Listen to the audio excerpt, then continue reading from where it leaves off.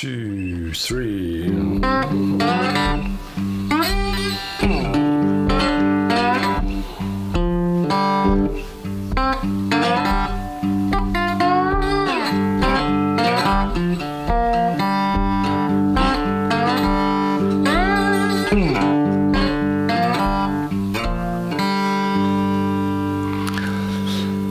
Okay, Pat Curley from LearnCigarBoxGuitar.com. How you going? Uh, I'm going to look at a couple of blues riffs that we can play with our three-string cigar box guitar.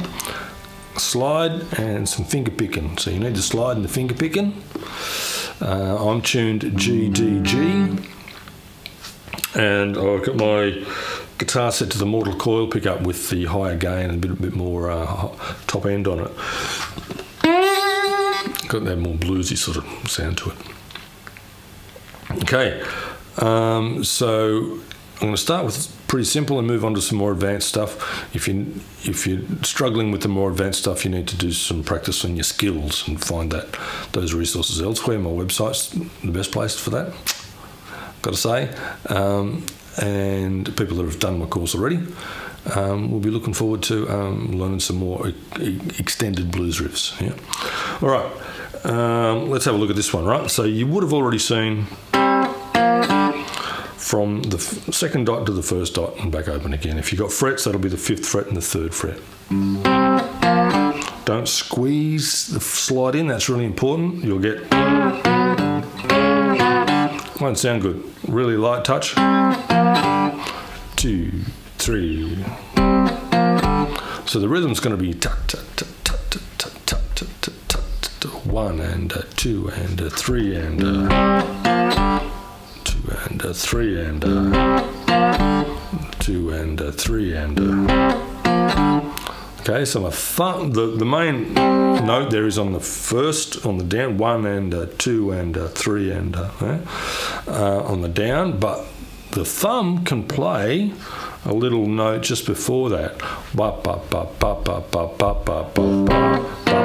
Now let's zoom in a little bit and have a look at that, shall we? Uh, better still, let's have a look at your, my right hand. So one and uh, two and uh, three and.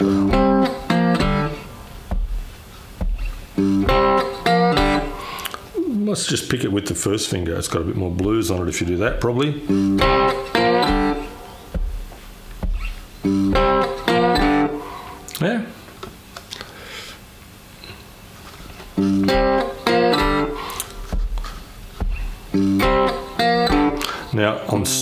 First one just by taking the slide off and leaving my, the rest of my hand there. And then coming back to there.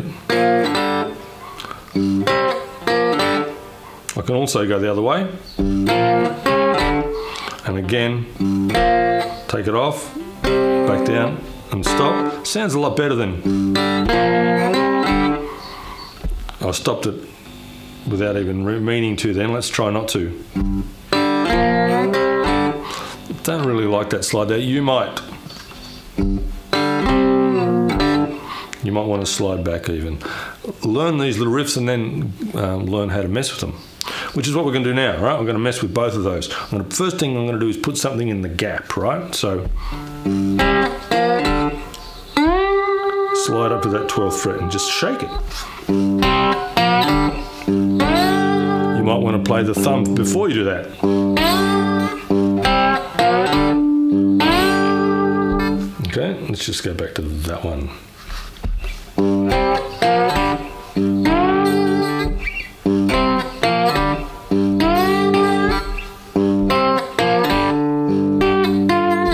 Okay, what did I do then? Slid back from the 10th, 12th back to the 10th. So little variations that you can do on that one uh, in that gap there, right? Um, some variations back here that you could also do. So that's on the top string from the third fret, the first dot to open. That was on the top string again. Now on the middle string from the third fret to the top one open. I think I played the open string in the middle first. That would make sense.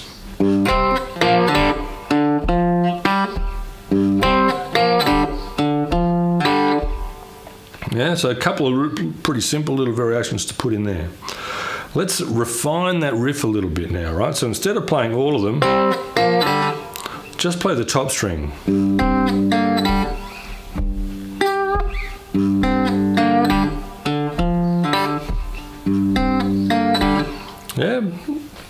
Pretty, straightforward. You just need a little bit more control with your slide. I'm getting that by just um, tilting it back a little bit. So instead of having it straight, I'm tilting it back. So I just get the top string. And making sure again that you um, stop the notes from sounding when you want them to stop. Um, let's uh, finesse this one a little bit, shall we? So we're going to go from that second dot to the first dot, or the fifth fret to the third fret. But when we get to the third fret, going to slide up into the middle there in between the two dots, or onto the fourth fret, and then open. Don't go up like I did right at the start and stop there. Make sure that you just grease it so.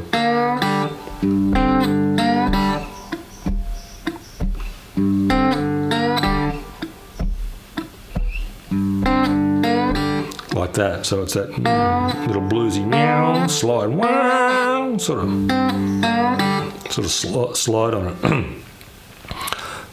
Let's add one more thing to that now. So I played the open string before I went to the um, third fret.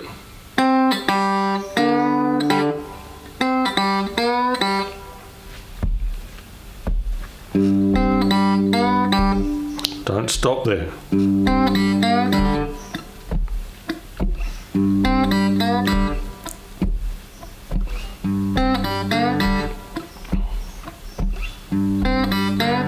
Yeah, so that's like um, Mannish Boy, isn't it? When I was a young boy, about the age of five, etc., etc. Yeah? Um, another one like that is Hoochie Coochie Man that goes like that. Now, you, you would have seen, and I've got a lesson somewhere, I think, of Hoochie Coochie Man just doing this. That's one way to do it. Um, but originally on the recording, it was pretty sure it was um, where we go uh, in the middle string, open to the third fret, open to the third fret, and then open on the top. Yeah. So if you have a look at my right hand, you can see that I'm going, and then um, muting that before I play the top.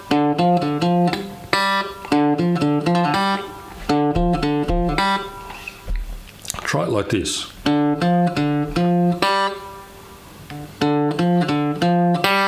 By bringing your thumb down and picking it with your first finger.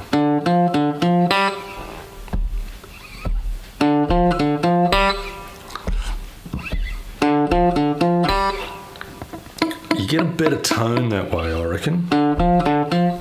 It's minimal, but your first finger's just stronger.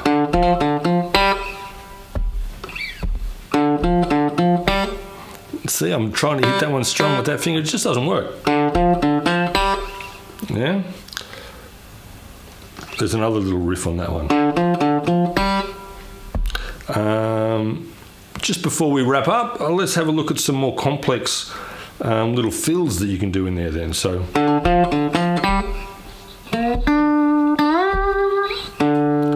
Uh, that's more of an Elmore James thing. I'll cover that in the next one.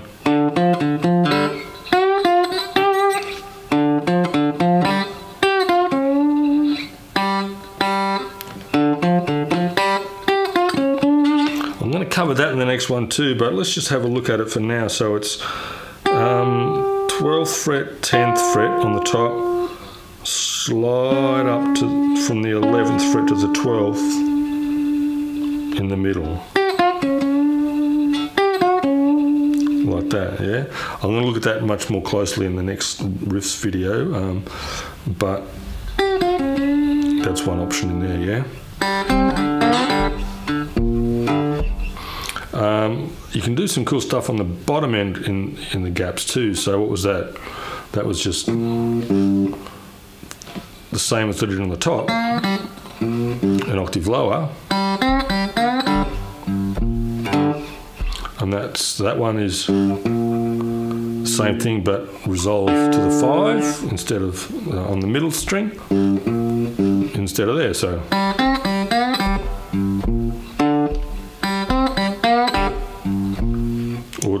Low, yeah.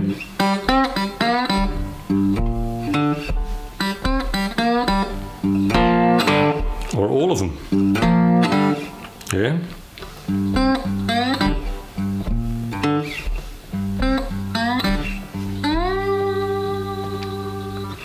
Okay, go away and have a bit of a play with that and um, listen to all the great tunes that use it and muck about with it yourself. It's heaps of fun. Cheers.